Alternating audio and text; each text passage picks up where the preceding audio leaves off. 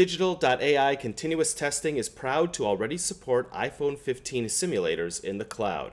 We're in our continuous testing cloud configured with emulator host machines, and you can see that when I click, I can select a range of iPhone 15 simulators.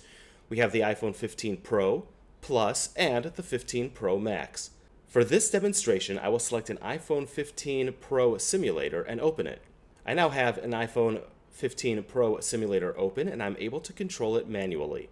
I can open the settings and when I navigate into the About Device section, you can see that we have an iPhone 15 Pro emulated device.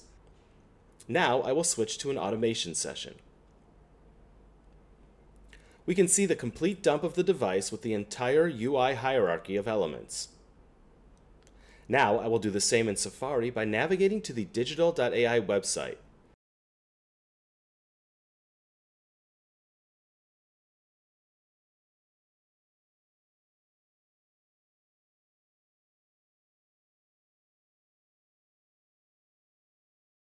Let me click on Refresh Dump.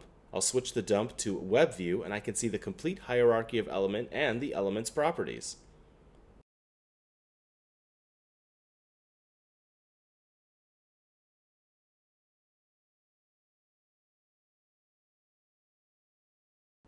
Next, I will open the Applications section and install our demo app as instrumented.